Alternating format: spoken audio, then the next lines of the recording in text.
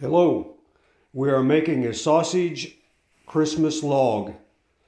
There are two different types of shake and bake in this video.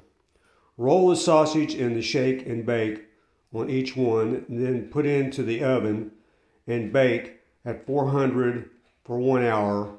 Then coat the brown sugar uh, on top of the sausage and cook another 10 minutes. Give me a like, subscribe, and thanks for watching.